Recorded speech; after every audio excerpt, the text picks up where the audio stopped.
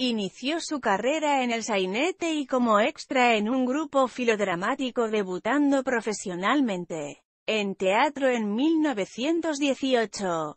En 1936 debutó en cine en Ya tiene comisario el pueblo, de Claudio Martínez Paiva y Eduardo Morera, con Agustín Irusta y Roberto Fugacho. De los 15 títulos donde participó, no tuvo ninguna actuación destacada, pero sus papeles más recordables son El otro yo de Marcela, Un hombre cualquiera, con Narciso Ibáñez Menta y su protagónico en Mi marido hoy duerme en casa.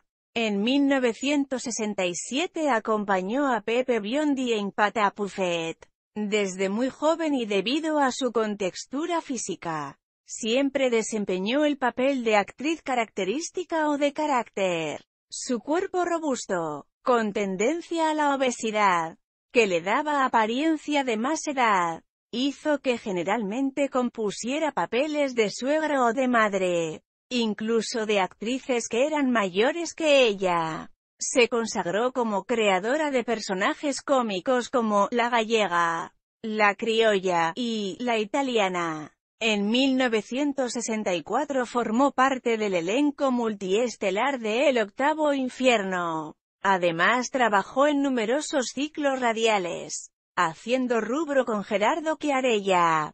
En teatro realizó grandes éxitos, donde representó su talento y simpatía. A lo largo de su extensa carrera teatral como actriz y directora formó exitosas compañías junto a Estrellas de primera línea como Pepe Arias, Tomás y Mari, Luis Arata, Juan Dardés, Alberto Anchart, Carlos Morganti, Ignacio Corsini, Gregorio Chicarelli, Marcelo Rullero, Mario Fortuna, Berta Gangloff, Enrique Serrano, Jesús Gómez y Pedro Tochi. En 1970 intervino en su último filme, Joven, Viuda y estanciera, de Julio Saraceni. Falleció el 14 de abril de 1977 en Buenos Aires a los 83 años. En lo que respecta a su vida privada tuvo tres matrimonios.